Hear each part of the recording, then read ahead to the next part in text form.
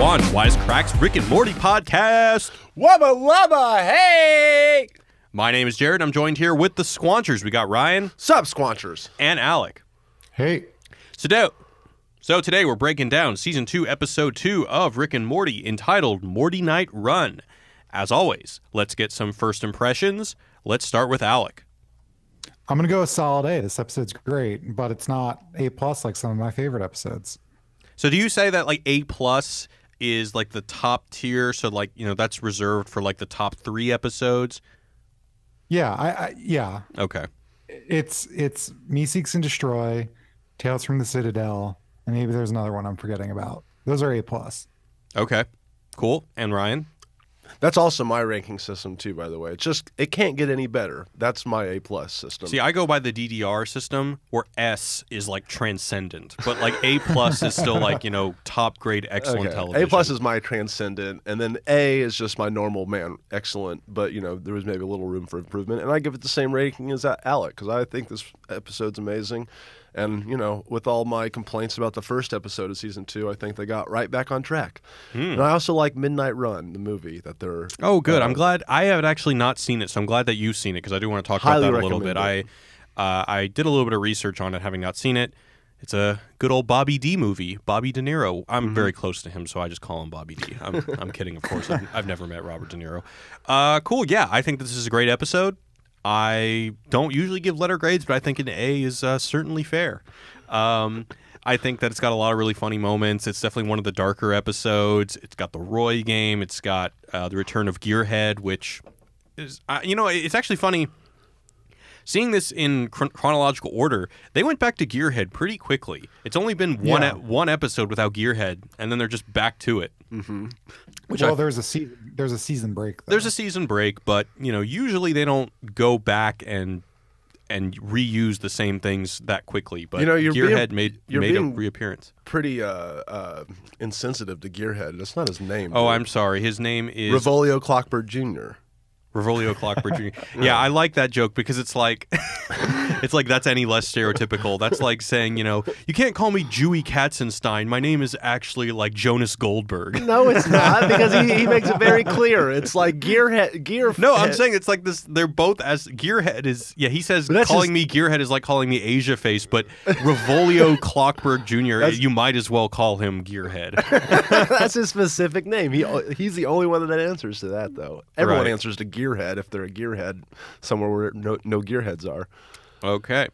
Well, anyway, yeah, good episode. Uh, this time watching it, I really, really liked the Goodbye Moon Men segments. I I think oh, as I'm so good. as I'm rewatching the series, I'm I'm really growing very fond of those psychedelic elements, like in the uh, um, the Whirly Dirly conspiracy when Mm-hmm. they have that time that moment where they become time. Uh, that part is awesome. Well, I love hope- the animation for that, but I'm glad you liked it because I don't get the Goodbye Moonman part, like like like the actual line. Why does he keep saying Goodbye Moonman? I don't know, but I don't care. Yeah, Okay. don't care. All right, well, It's uh, pretty it's, just, awesome. it's ridiculous. okay, Yeah. that's what I thought. But Al- Also, like at, at first, it's pretty good, but when he when he whispers in that that cop's ears and he's like, "What's he say? My life is bullshit," and then crashes. Oh, he says one. my life is a fucking joke. and Yeah. it's like the music. It's like beautiful, but also fucking hilarious and sad. Yeah, yeah, absolutely. All right, cool. Well, gentlemen, let's go into a recap. So, Jerry's unexpected presence on Rick's ship forces Rick and Morty to make a pit stop at Jerryboree, a daycare, a daycare center for Jerry's, to do simple Jerry-like things with Jerry's from all over the multiverse. Morty has a crisis of conscience when he witnesses Rick sell weapons to a hitman named Krombopulos Michael and uses the money to go, to go to an arcade called Blips and Chitz. Jerry tries to escape the Jerry Baree, but eventually grows fond of all the Jerry related activities like a ball pit, making the stereo work with the TV, and a Beth birthday clown who gathers all the Jerrys to watch Midnight Run with director's commentary. Right as Krombopulos is about to assassinate his target, Morty kills him with Rick's spaceship and releases the target, a mind reading cloud known as Fart. Now being pursued by the Galactic Federation, Rick and Morty hide out with Gearhead on the Gear planet while he repairs their ship. But Gearhead soon betrays them, and with the help of Fart, Rick and Morty flee the planet. When Jerry realizes he's not being held against his will, he tries to leave, but when the outside world proves to be too rough for him, he reluctantly heads back to Jerryboree. Morty's about to return Fart back to his home world when Fart reveals that he's planning on wiping out all carbon based life. So Morty is forced to make a tough decision and kill Fart, thus making all the death and destruction thus far all for naught.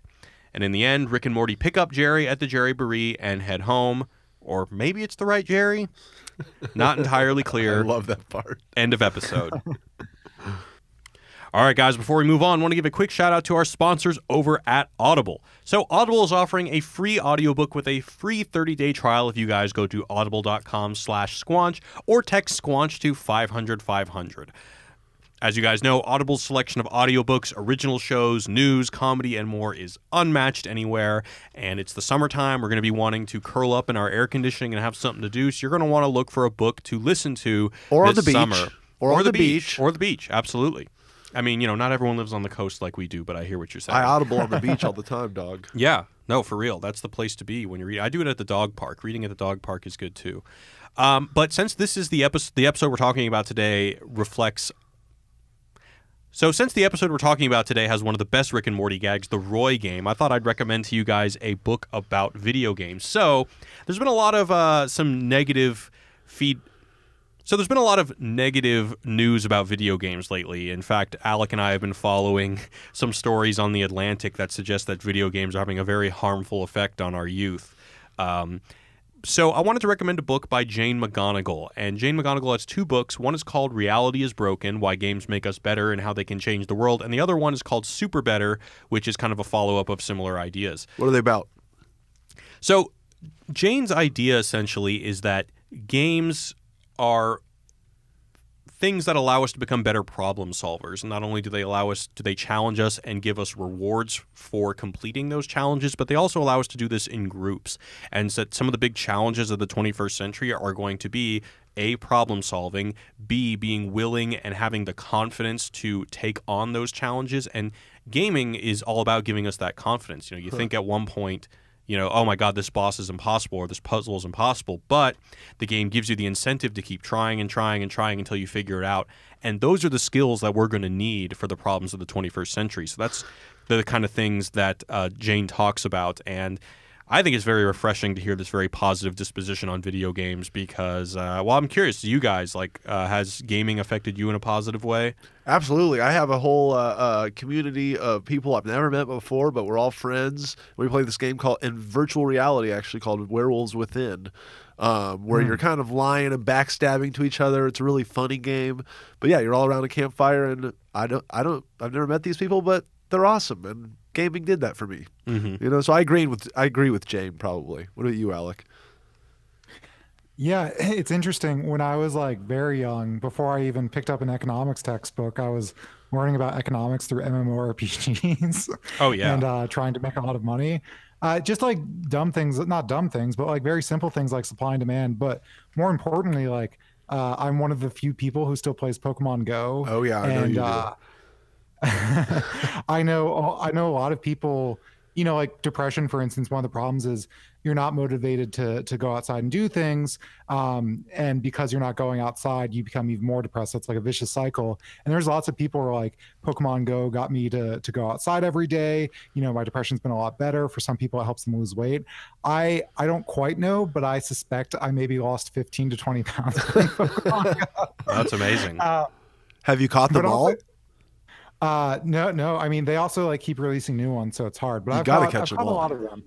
But but yeah, just like uh, you know, it's amazing. Especially I live in New York. Uh, nobody makes eye contact ever. No one talks to each other.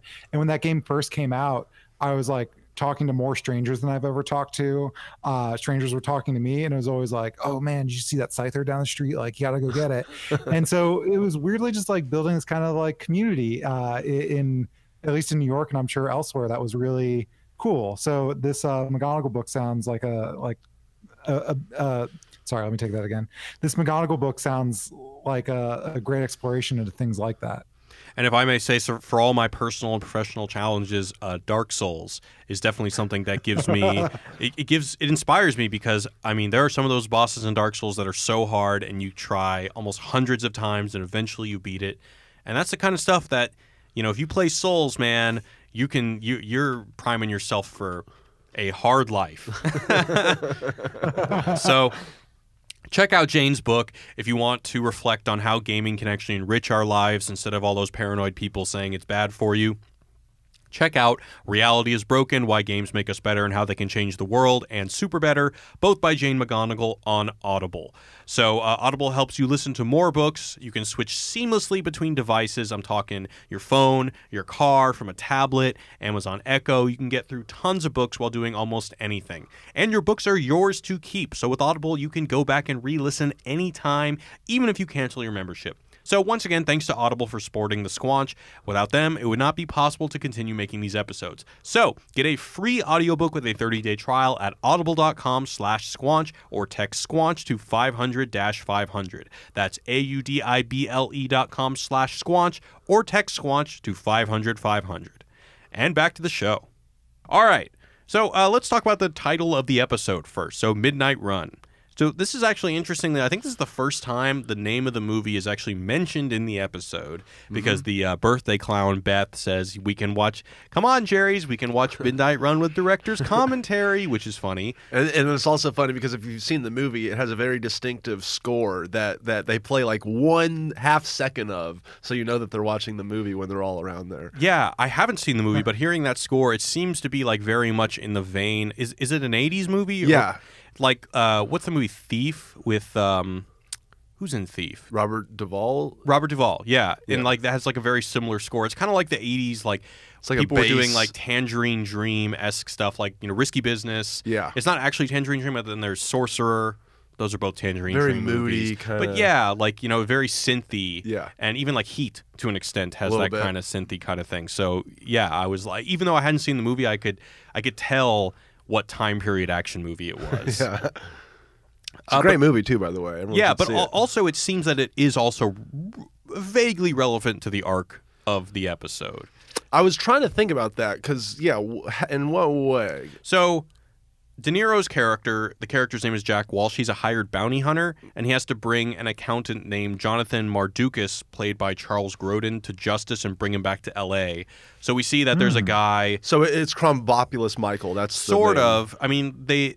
So yeah, they're both bounty hunters, or I maybe Krombopulos Michael's just an assassin, not a bounty hunter. But at the end of the movie, uh, De Niro has this kind of crisis of conscience where, in the end, he's supposed he's gone through all this shit. There's been all this backstabbing and all these like changes of factions, similar to what happens with Gearhead.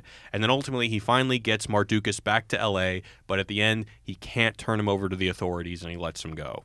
And so, I guess you could say that Morty's thing at the end with having to kill Fart is kind of an inversion of that. Is instead of like all the shit that he's gone through, and instead of after all that shit finally liberating him, it's after all that shit now he has to kill them. And you know, classic Rick and Morty, it's uh, you know very pessimistic and all for naught. Whereas you know it's a much more positive message in Midnight Run. I, I, I, I like the mess the seeming message of this of this film because it's totally opposite of what you usually get you know? It's kind of reminds me of like like like whenever rick is talking about hey look how all these look how fart killed all these people. Wouldn't have happened if you just let him if we just been at the arcade the whole time? Mm-hmm. Like i love Right. just it's seemingly saying don't don't try to act like a good person Exactly. sometimes There's even a line where Rick says, "Do nothing." Yeah. you know, uh, and I think that's the kind of the funniest thing about this episode is the moral of the story is don't try and do good, just do nothing, just be at blips and chitz and just uh, distract yourself and play the Roy game and don't worry yourself with any kind of any kind of justice because it'll just turn around and bite you in the ass. yeah yeah, it, the, the line is at least all that death and destruction wasn't for nothing, you know. And that's when Morty sees the other Morty, or, or Rick asks, and the other Morty didn't kill anyone because they're at Blips and Chitz all day. Yeah, yeah. I mean, it's I I love the. I, lo- I always love as a classic Rick and, Rick and Morty trope of them kind of taking any moral message and inverting it, and I think that this is probably one of the most clever. Yeah, and, uh, definitely. probably the the darkest, but uh, It, it's it's similar to in Meeseeks and Destroy the the the king that you know the, the the poor village, but the king is a pedophile. So Morty did this whole thing to to help the village, but really the guy was a pedophile. It's also similar to the Purge episode where, uh, you know, in, in theory, the the source of all this pain is that the elites just like in the movies of the purge the elites are exploiting the lower class and keeping society under control by having them kill each other and then even once rick and morty wipe out the upper class and then they leave the planet and then they just even without that oppressive class structure they still devolve into killing each other Right, right. so, uh, yeah, classic Rick and Morty. So, I want to talk about the Jerry Brie. Let's talk about the Jerry Brie. First of all, Did y'all go to Jamboree as kids? I did.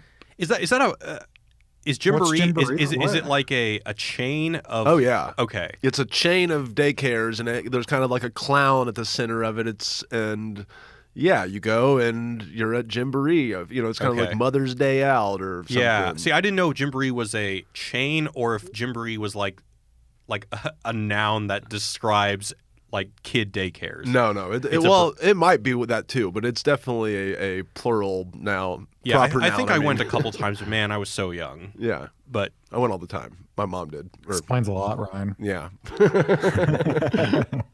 the woman who it's like the giant pink lady who runs the Jerry Brie is so funny. I How she's just right? like so humiliating all the time. She's like, "You're doing great," when Yeah. he's like trying to go into that hole and basically just t- uh, treating him like a total child. Right. Every time Or- she opened her he- mouth, I was laughing my ass off.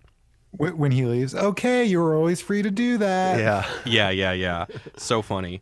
Uh, so actually, so Alec and I were brainstorming about uh, a different video, uh, and we came upon this quote uh, from. So my favorite writer is uh, Fyodor Dostoevsky, and we came up, upon this quote that uh, I think you know. A couple times in our episodes, in our videos on YouTube, we've talked about the difference between Jerry and Rick, and how Jerry is kind of more or less the happy idiot, and Rick is the tortured genius and I came upon this quote from Dostoevsky's The Idiot, and it's his it's a it's a pretty famous quote, and it's it's better to know the worst and be unhappy than to be happy and live in a fool's paradise. And I, when I was reading this quote, I, I felt like, and I don't know if this is intentional necessarily, but I really feel like this dynamic that is like so to better to know the worst and be unhappy that's rick or to be happy and live in a fool's paradise that's jerry and it just made me think how many times in the show there is this recurring joke of Jerry being happy in a fool's paradise. So we have in this situation a Jerry Brie, which is essentially like, you know, for people with child minds, you know, eventually he finds himself very happy there, very content. He loves the balls. He loves playing, you know, make the stereo work on the TV with the other Jerrys. He loves watching uh, Midnight Run. But there's also the Shamalian simulation where it's a really poorly running simulation. Uh-huh. It's the happiest day of his life. It's the happiest day in his life. He wins the "You've Got Apples" thing, so he's a, a fool living, or I'm sorry, he's happy living in a fool's paradise. There's also at the beginning of season three, there's the Earth after it's been taken over by the Galactic Federation, in a sense where he is a fool and he gets you know his six chewable salary, and he's like this really successful man on the uh, on the basis of the fact that he does nothing. And then finally, uh, Pluto, when it's inhabited by science deniers. That's right. You know, and and now it's because he has you know no intellectual capacities and is basically just a sellout. He is once again a happy man in a fool's paradise. So You, you're you're forgetting though. My favorite after rewatching it, doing this podcast, is his coin collection. and the coin collection exactly. Yeah, you're absolutely right. So, do I think that this Dostoevsky quote was on Dan Harmon's mind? No, but I find that it works extremely well to like this constant joke of Jerry. Not only is he stupid, not only is he a fool, but when you put him in a place where fools reign supreme, he is so happy. Is he v- s- really happy though, or does he just have this illusion that he's succeeding and that things are good? Like it doesn't seem like he's like the happiest person. There's always still like this kind of sadness I feel like behind him that he Yeah. knows that he's an idiot and he's no Rick. You know, like yeah, he's happier think than he- Rick would be in those situations, but I don't feel like he's just like, man, life fucking rocks and this is it. This is the end all be all. Um, so it, I mean, some of these things. So the Shamalian simulation with the Hungry for Apples, I do think he's actually happy there. Would you agree with that one? Yeah, probably, yeah. Okay, so for the Jerry Brie, uh, yeah, I mean, I can see where you're coming from. He does try to leave. He doesn't want to be like the other Jerrys, but I mean, ultimately, he does have a nice time whenever he's kind of just accepting it. Yeah, nice time. Not Yeah. necessarily he's It- like overcoming it's like- with ecstasy. his his like sadness is usually I think about his like inability to control like things around him. So like Rick kind of taking charge of the household, he's very upset about all the time. Uh-huh. But it's like when that's taken away and he's able to really like take in all of the joy of his dumb coin collection or, you know, have sex with his simulated wife or win this fake award that he's like, yes, this is this is what it's all about. But the point is, I I think in all of these situations, Rick would not be able to be happy. Right. Yeah, I whereas agree with that. Yeah, whereas course. Rick can I'm sorry, Jerry can, which I think is more to the point is that is Yeah. that there are situations in which Jerry can be happy and they just so happen to be situations in where, you know, he's surrounded by fools or at least uh, valorized for being a fool. Uh, and you know, I don't think Rick can really be happy until unless he's on the Unity world and he's just doing drugs and getting fucked up and having crazy orgies. I agree, and, and I feel like we've talked, we've had this conundrum before. We've talked about it and what which we would prefer, right? I mean, Yeah, let's I- go around. I firmly said that I'd be on the Rick side because I feel like you can Okay. free will yourself into happiness, even though you know everything on- sucks. well, I- I mean, is but- that but- an but- but- option? That's well- not well, a no, third I mean, option.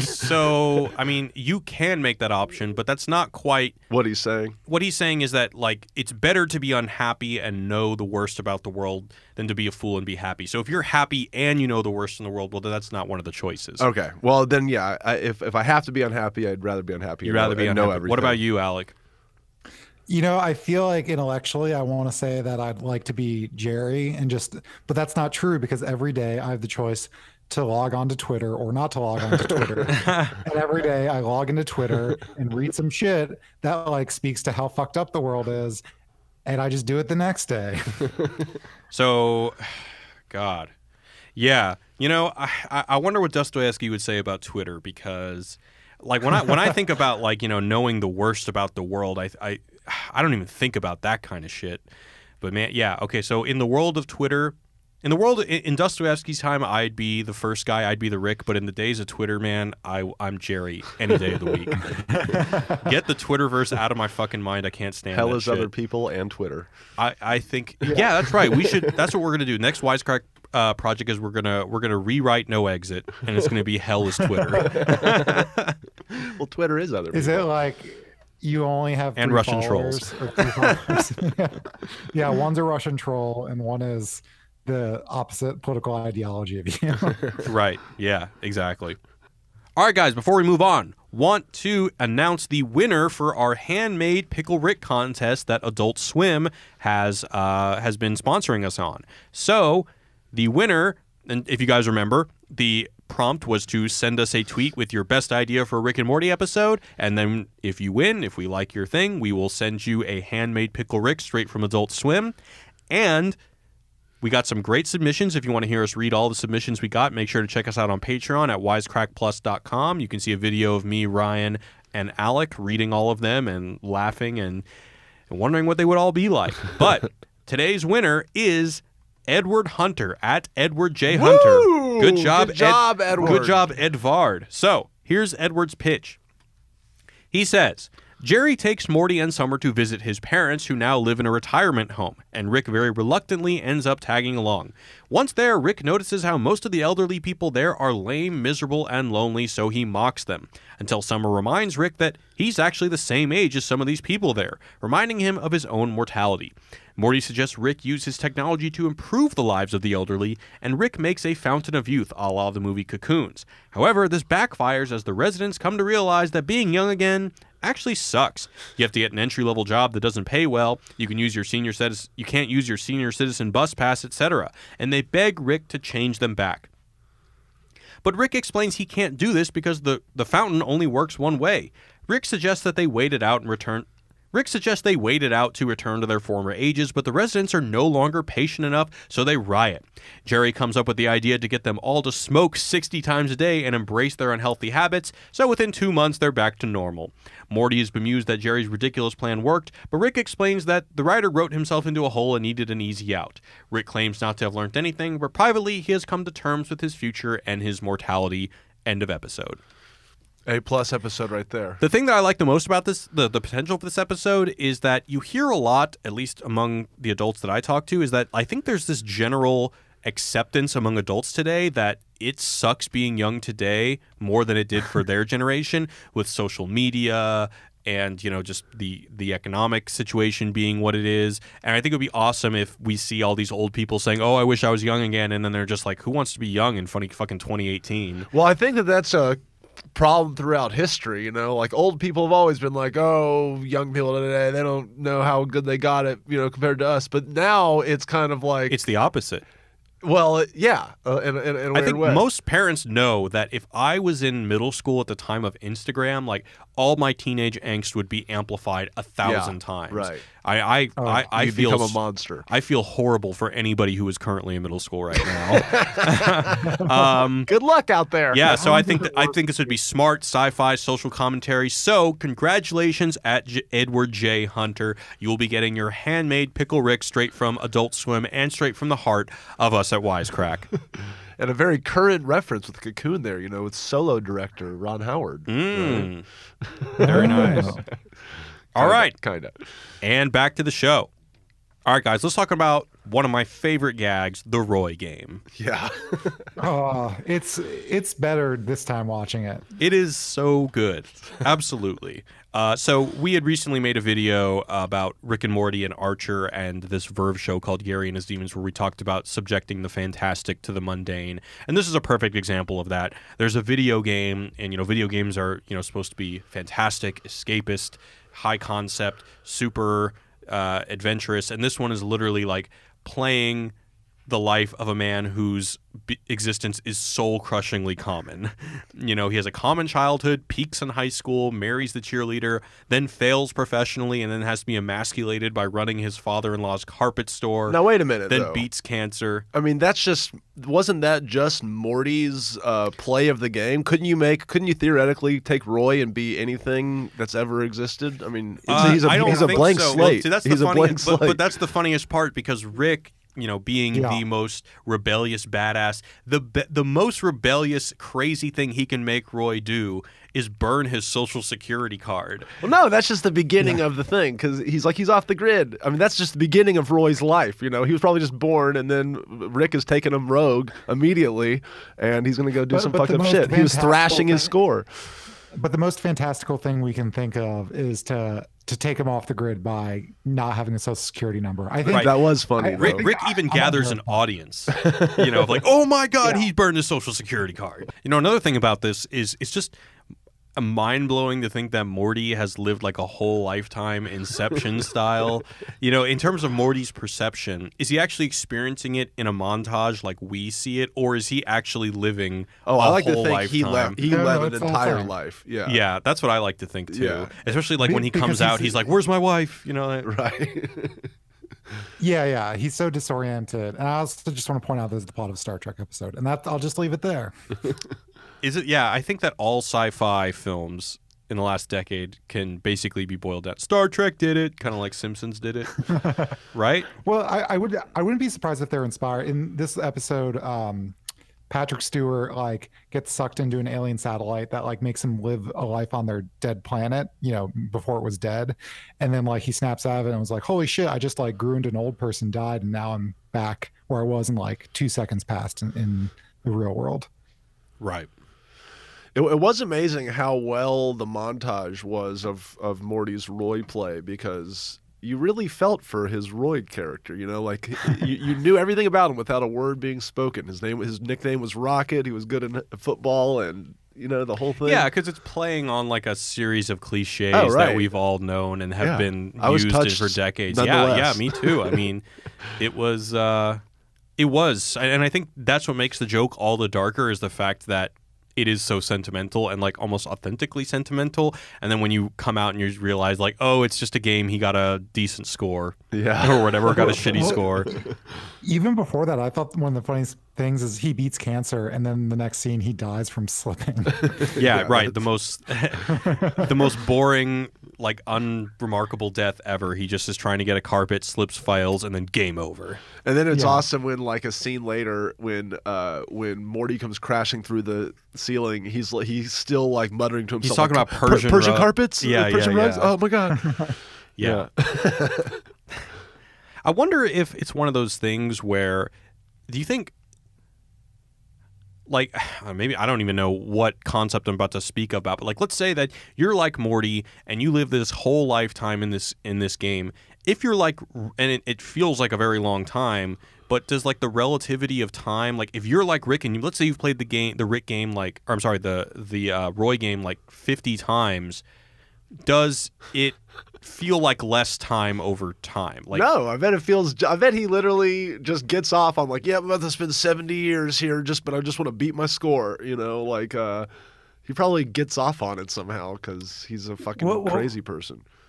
Well, there is like as you get older, time seems to pass faster. Like, you know, when you're a kid, a year is like an eternity.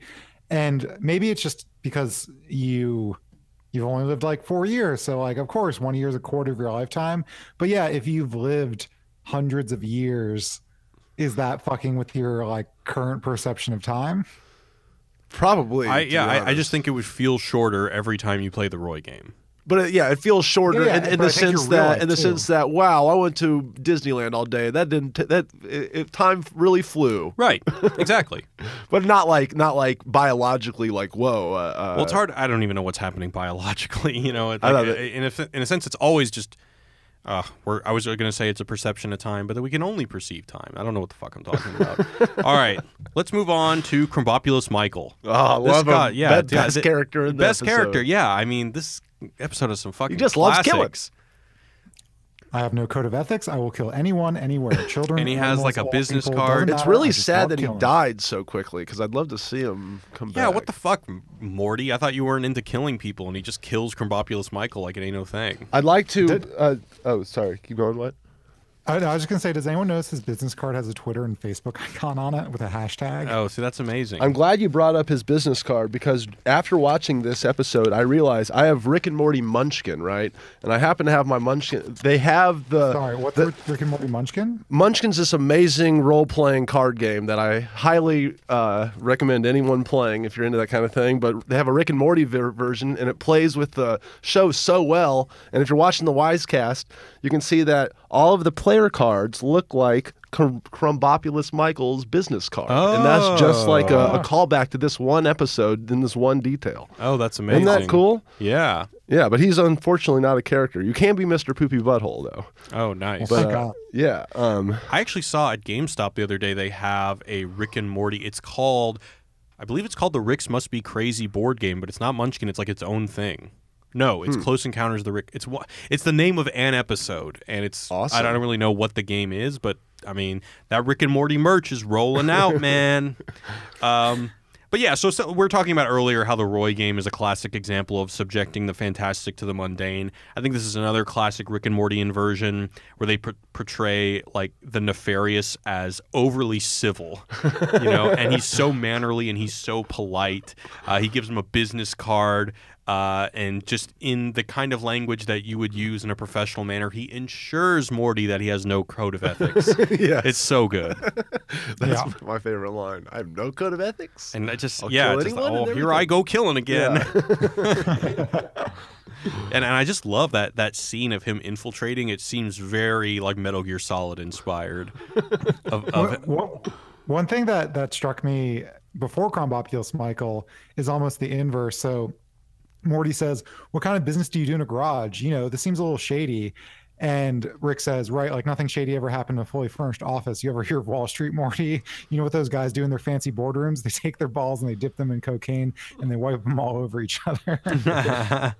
and then later, eh, like a like two lines later, more to this idea of the the episode saying that the most virtuous thing to do is to do nothing. Uh, Rick even like teases this a little bit because he says when Morty reprimands him for uh, selling a gun for money, he says, "Yeah, but this isn't just money. This is I can't remember what the name of the currency is. Where it's like flarbitrons or something like that." He said, do you, "Do you know what kind of good two people can do with all these? What, what were they called? Florbos. Flurbos. Do you know what like what uh you know th- 400 Flurbos can do? And you think he's about to say like feed a starving planet or something like that, but then he just goes go to blips and chitz. so uh yeah, like even earlier than uh when fart is established, there's the whole like teasing do do gooding, whether whether it be with your actions or with money. It's the whole episode's what like a it's a, a joke about ethics almost, right? Yes. And and and and, and, and, and if you think about it, I know Krombopulos Michael has no ethics or no code of ethics, but he was doing technically the right thing by killing Fart, right? Because Yeah. Fart was going to destroy our whole galaxy. Well, Fart says earlier on in the episode, he says to Morty, he says, "You're not like other carbon-based life forms. You va- you put the value of all life above your own." I mean, you could argue, like, like in a sense, Fart makes the Agent Smith argument from the first Matrix, when Agent Smith is like, uh, "There is another organism on this planet that follows the same pattern. Do you know what it is?" A virus. Human beings are a cancer on this planet, a mere plague, and we are the cure. Does it bother you that You know, you know that cancers are entire scene. What? does, does, does it bother me? What? That viruses and cancers are two different things.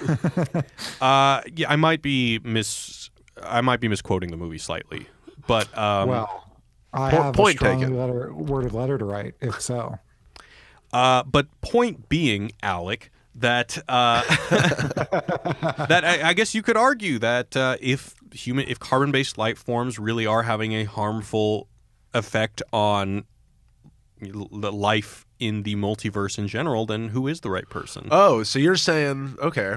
You're, you're taking Fart's point of I mean, if we are being like so utilitarian that like you know the the amount of good for the most amount of people in the multiverse, and by killing all carbon-based life, other forms of life will flourish, then I don't know. There's a question there. the Hitler point of view. Is it? I was gonna say I was gonna say Thanos, but I think they're Yeah. all related. they're all re- they're all related. uh, similarly, let's talk about. We mentioned this a little bit earlier, but the part where Fart conjures an image in the cop's head of his best friend fucking his girlfriend, and then he goes, "My life's a fucking joke," and then he Right. crashes into it. That's uh pretty dark. There's one, there's one little fart thing I wanted to bring up, which Mm-hmm. is I feel like somewhere I, we've gotten an email about Morty's foot fetish, but I could be wrong, or maybe I've read it somewhere. But um, when when Fart is first speaking English, he's like, I communicate through Jessica's feet. I mean telepathy, because Yeah. he's reading Morty's mind, and Morty is he's like searching for the word in Morty's mind, but all he can come back with is Jessica's feet. Right. I thought I think that's something we should pay attention to in the fut- future. Are there other feet related things that Morty fantasizes about in the show? I don't know. I feel like I read somewhere that there was, but now I can't recall them.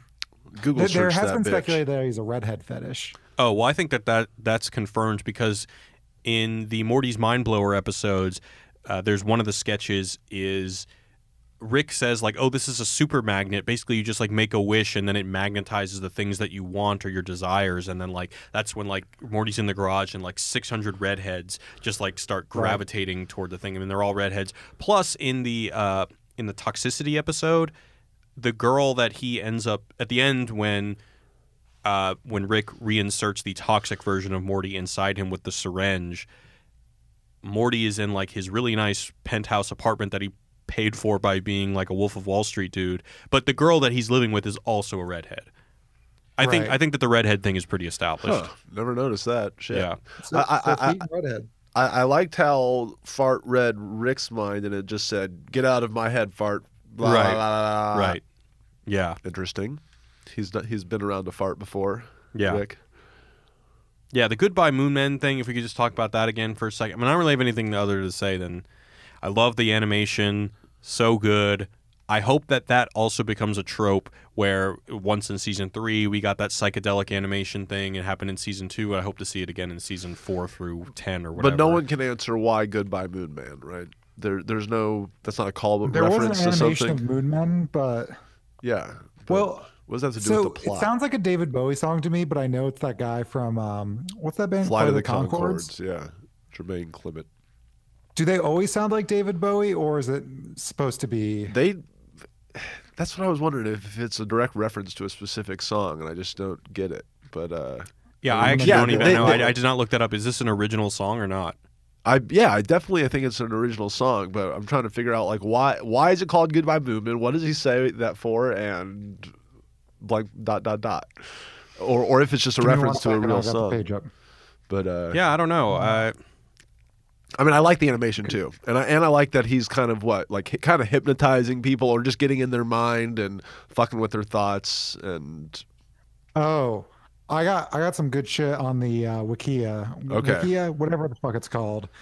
Well, first of all, it's sung in the parody tribute in the style of musical artist David Bowie. All right. gotcha.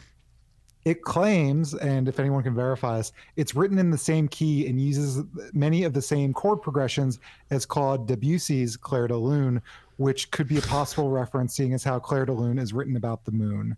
Uh, doubt that, doubt that all sounds that. like a huge stretch. but it doesn't say it just says David Bowie. It just says I mean, saying it's in the same key and what was the other thing? Key and tone or whatever. Like Uh, you could yeah, say that about. progression. I feel like you could say that about a lot of music. yeah bullshit. Yeah. All right. We're gonna call bullshit on. It could be that they just Wikia. wanted to use a David Bowie song and they couldn't afford it. No, I like think that. that. I mean Jemaine. Yeah, like you were saying, Flight of the Conchords. They do all these kind of spoofy parody kind of songs, and so they probably were like, "Hey, let's do a David Bowie reference." I just still don't get why Goodbye Moonman. Moonman. That's my only thing. But who gives a shit? Like I like said it. at the beginning. Yeah, it works. So let's talk about uh, getting the wrong Jerry at the end. So I feel like this is a, a thing that people often reference as some sort of uh, fan theory focal point, like, "Oh man, it's the wrong Jerry from here." Point out. I mean, in my opinion, this is just a gag. Like, kind of like your that was your theory on the whole is is Beth a cyborg, right? uh, well, my the thing with Beth being a cyborg is my answer is it just doesn't matter. Well, isn't The- that your answer to this? Uh, it doesn't matter. It's a gag. It's just Well, to make I us think laugh. it does matter, like in the sense that all ensuing episodes after this one, the Jerry that we see is the Jerry that we've seen in all previous episodes. So it And, does it's- matter. Except, except before the only time we get an actual different Jerry is after Rick Potion number nine. After that, it's the same consistent Jerry. I mean, So you do think that the Jerrys were sw- mixed up at the beginning of that scene, no, I, I mean, logically. Either they're so similar i just think for the purpose of storytelling and for the purpose of continuity we're meant to believe that either it's the exact same jerry or it's so similar a jerry that we're not supposed to project any increased significance Well, onto it. That's a Well, yeah, really that's the crazy joke, theory. Like Jerry's are Jerry's are fungible. They can just like be replaced. right i don't know what do you think you think do you think that that's ever going to come back to relevance I I mean, hope so. th- th- they've kind of said that they don't hide stuff. So I mean, in a way, I agree with you that it's pr- like, but that a that a it's a gag first and foremost. But but I do think it matters, and that that by No, the so logic of like- the story, I do think that they were switched at the beginning. If we think that it's been the, it's the same Jerry, I right? think this is the same thing with uh, what was it? The, the guy in that other Rick and Morty podcast who's, who had Ryan Ridley on, and he said that he asked Ryan Ridley like, "What is the significance of Rick breaking the fourth wall?" And Rick knowing that he's in a cartoon show, and Ryan Ridley said, "Look, sometimes a gag is just a gag. Sometimes we're just doing something because it's funny." And I, I would put this in that same camp. I would too, but I think that sometimes they know they're very much aware of the gags that they can expand upon, and I can totally see them like at some point going, you know what, let's actually declare that the, you know that the Jerry was the wrong one the whole time, or something, or or using, I don't think I don't think that's using going to happen. things. I mean, they could probably, do it, probably but I don't, not. I don't but, think but I think will. that they do kind of take the, the the way that they've set up this very open, broad show, and they play with it, and so I can see them taking what they've already set up and I just don't think that they it. can contextualize in any way in which it matters. I mean, the Jerry that we right. have after this episode is the one who's gone through all the most important arcs up until the point we're at now at the end of season three. Yeah. You know, I, at this point, if it is a different Jerry, I don't even give a shit what the old Jerry's doing. You know, because we've Right. spent so much time and experienced so much growth with the new Jerry. So I just can't imagine how they would make that relevant other than it just being a pure Easter egg. Well, the the the Beth thing I could see coming back because That- yeah, the- that's different. That's the cliffhanger that we're left with right now, right? Um, Kind of. one- Well, one thing. Go ahead. Go ahead. sorry. No, it's okay. I don't. I don't. I don't want to talk about Clone Beth. Yeah. That's fine. Uh, one thing that I think is maybe worth speculating is that on the little sheet that Rick fills out, first of all, there's uh, like Rick's dimension and Rick puts C137, and it says Jerry's dimension, he puts uh, NA, so not applicable or not any. But also, there's like a little drawing of Jerry, and it's like indicate any physical damage, almost like a car rental if anyone's done that. And he, uh, you know, there's like a little scribble on his head, like he has head damage. And I don't know if that's a joke that Jerry's just dumb or maybe, you know, something happened to Jerry. I, I think it's just Rick making a joke about his intelligence and just fucking with him. I, I, I would put that whole sheet under just a gag. And as far as the non-applicable, I don't know. I mean, what what would that even possibly reveal? Uh, that Jerry was created out of space time. Jerry's a god. I'm making things up. I'm Yeah. just throwing shit at the wall. I mean, who knows? It could be that turns out that the after Rick Potion number nine, they haven't been in an actual dimension; they're in a simulation, so the NA doesn't work because he's not a real Jerry. Wow, I mean that could that could season, be Jerry. could be, but I doubt it. I think more than anything, they probably just didn't want to reveal the name of the dimension that they're currently in. Because C-137, I suppose, and once again, this is also up for interpretation. I suppose is the one pre Rick Potion number nine, uh, but they've never named the one post Rick Potion number nine. Actually, no, I believe that it actually is C-137 that's pre Rick Potion number nine because Morty refers to himself as C-137. So we know that the one before Rick Potion number nine is C-137, but we don't know what the one after it is. And I guess they just didn't want to commit to giving us an answer. Yeah. Right. All right. Well, let's go into the mailbag. I believe that Alec has some questions picked out for us. I do. And if anyone would like to send us any questions, you can hit us up at squanch at wisecrack.co. Again, that is squanch at wisecrack.co. So just a couple today. Uh, we got one from Nicholas. First of all, love all your shows. Just the right amount of philosophical overanalyzing that my friends and I like to indulge us with at parties in small doses until we're forced by societal pressures to join others. I'm so sorry that you're forced to join others. I really feel for you there. Um, secondly, in your episode about a wrinkle in time, I love to hear you get the principle of Schrod- Schrodinger, sorry, Schrodinger's cat right. Uh, what I didn't hear mentioned is the misconception that the cat is meant to illustrate the Copenhagen interpretation and that Schrodinger's thought uh, the cat was both dead and alive. He set up the thought experiment precisely to show the absurdity of the prevailing interpretation of quantum mechanics by stretching the application from the subatomic with the atomic decay to a macroscopic object.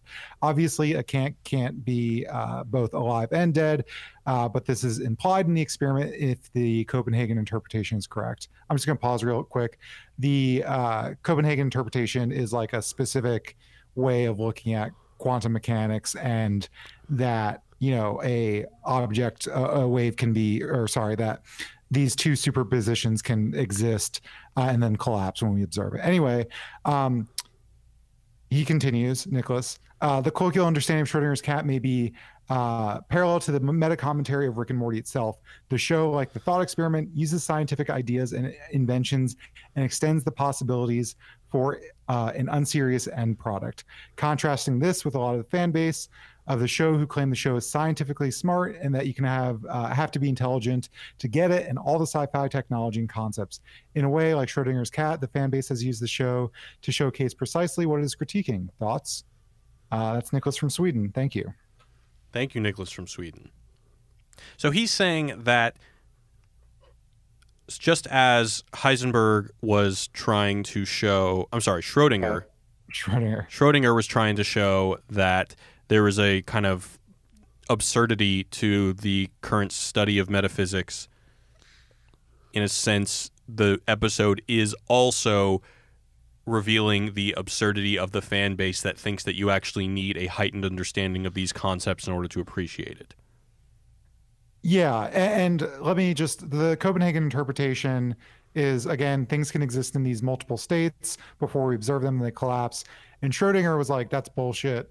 Um, here's an example of a cat. Obviously, a cat can't be alive and dead, and what he's doing is he's taking it ad absurdum. He's like, "Look at this like insane thing." Whereas Rick and Morty, yes, they take basic principles and just draw them to their absurd conclusion and again like it's not even even that like you know the whole uncertainty episode isn't based in heisenberg's uncertainty principle it's not based in these things it's just drawing it ad absurdum mm-hmm. Yeah, it's a very meta point. I like Wow, it. yeah. Very meta. Cool, Nicholas.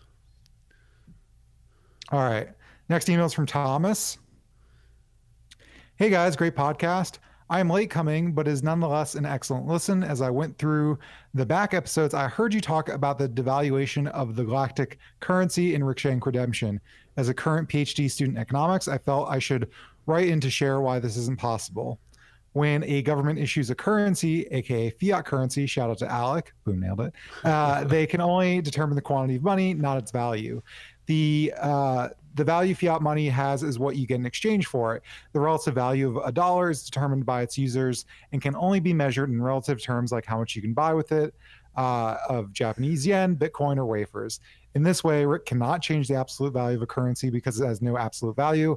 However, if the money is exclusively in digital form, he should have just deleted the entire quantity, having the same effect in the episode. Peace among worlds, Thomas. But wait, weren't you saying that it did make sense, and I was saying that how could yeah how could you just centralize like the or how could you affect the faith that people have in money just by turning a one into a zero? You know, I'm gonna get in, a, in an internet fight with Thomas, uh, even though he's clearly far more educated in economics. Yeah, than dude, me. don't don't don't go down that rabbit hole. No, I'm just kidding. You're gonna lose, bro. No, no. I think like uh, you know, Thomas is there's like this idea that the the quantity of money, you know, the government can issue a quantity, and the more quantity is, things like inflation happen.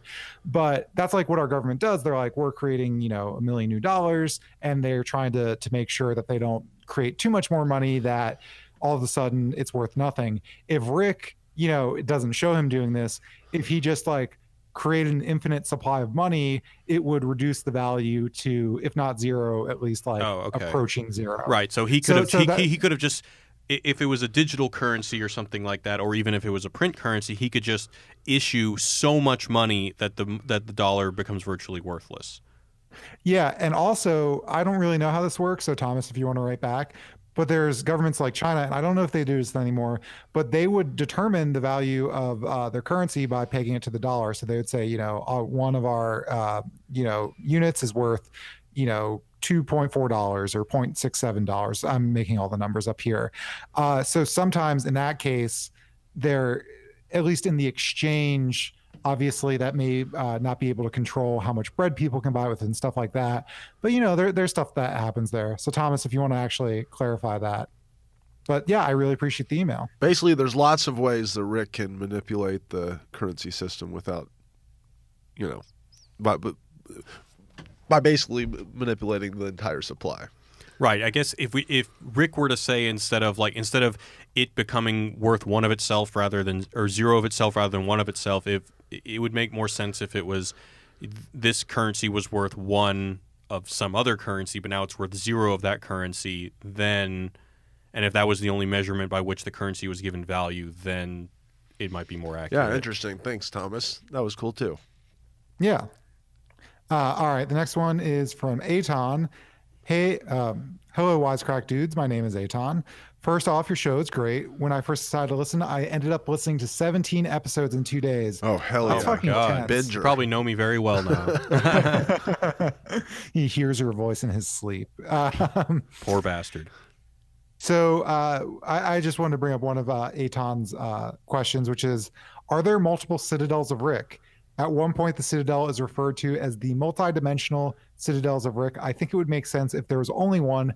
However, during the presidential debate in season three, episode seven, Juggling Rick says that the Citadel is the best Citadel in the entire uni- in the entire multiverse. This implies that there are indeed many Citadels. Perhaps it doesn't matter, but it seems like a contradiction. What do you guys think? you know, we're, we're getting a lot of these emails about the nature of infinity, and I think that they're all wrapped up in that question. And basically, the, the the experts, the math people who have been writing us in, have suggested that there actually is a finite number of interp- of ways of interpreting infinity. So we don't necessarily have to believe that there are infinite amounts of citadels. Now, whether there's more than one, I don't know. I mean, I could. See, I mean, I, I'm torn. On the one hand, Well, either there's one or there's infinite. Uh, it feels like those are the two options. Well, then I don't think that there's infinite. I think that No, there's. why not? I don't know. I really don't know. Why? Why? Um, It kind of seems like it defeats the purpose of the multiverse like hub if you have more than one, right? because where? Yeah, where are all those Ricks and Mortys coming from? I mean, if it would, if there was one Citadel that ruled its own universe. Well, there's only one Rick and Morty per universe, so Okay, well, I think that let's just say you have an infinite amount of Ricks, and like ten of them get together, and like we're gonna make a citadel of Ricks, and then they recruit, you know, a hundred thousand more Ricks. Because there's an infinite, another hundred could recruit another million or two million or whatever the amount is. It seems perfectly possible. Sure. So there's like Citadel of Rick one, Citadel, which is like for the first hundred thousand universes, and there's Citadel of Rick two, which is for the next hundred thousand universes. Well, it seems like these. It seems like the uh, citadels would have to be on entire other p- planes of existence. Or I mean, there could just be the designated universe. Okay. Yeah, or you know, the universe is complex. Uh, yeah. I don't know, bro. I don't, yeah, I don't Yeah, I know. want Uh, to. I want to see citadels of Rick fighting other citadels of Rick. You're blowing my mind, Aton. All right, what All else right. we got? Is that it? Nope. So this is an email from Jeff uh, talking about our discussion of the season premiere where I questioned the ability of mildew to grow when time is frozen. Anyway, Jeff says, after listening to you talk about how uh, there shouldn't be dust or mildew on, on Beth and Jerry since time is frozen, I thought I'd offer a possible explanation. Even though time has stopped for the rest of the world, Summer, Morty, and Rick are moving around and can manipulate objects within the time frozen world. Them daily walking by Beth and Jerry could uh, accumulate dust. As to mildew, it depends on how time was frozen. If there were mildew spores on any of Summer, uh, Morty, or Rick, they could have not been time frozen. Then they would just have to land on Beth and Jerry and do their thing. Keep up the great work, Jeff. Well, you know, another thing is that Rick and Mor- or Morty, he he takes a shirt off of his dad, puts it back on. So if he touches something, can it un it's unfrozen in time? Because we're meant to believe that even the shirts or whatever are frozen, but then when he interacts with it, it unfreezes them.